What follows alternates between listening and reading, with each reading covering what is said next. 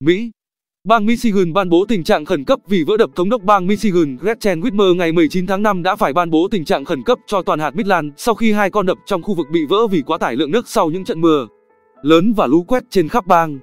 Trong một bản tin và kêu gọi cư dân sơ tán khỏi các khu vực bị ảnh hưởng ở hạt Midland, ngay lập tức, thống đốc Whitmer cho hay cả đập Edenville và Sanford đã bị vỡ vào tối ngày 19 tháng 5.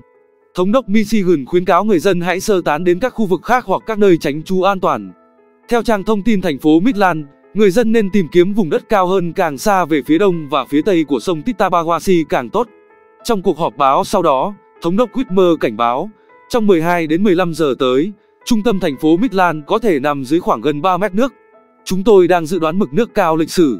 Trung tâm Dịch vụ Thời tiết Quốc gia tại Detroit cho biết trên tài khoản Twitter, tình trạng khẩn cấp lũ quét vẫn tiếp diễn ở hạt Midland đến 7 giờ 30 sáng thứ Tư, giờ địa phương. Ông Mark Bone, Chủ tịch Hội đồng ủy viên hạt Midland ước tính khoảng 3.500 ngôi nhà và 10.000 người cho đến nay chịu ảnh hưởng của thông báo sơ tán.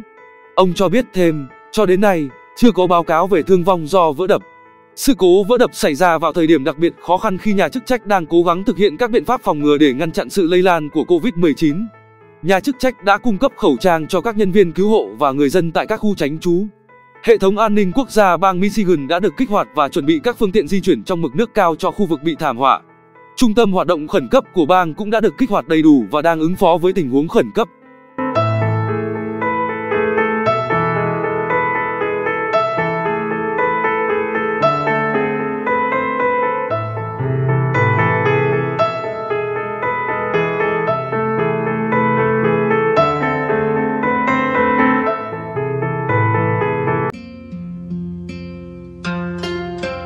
嗡哈哈哈温珊摩帝梭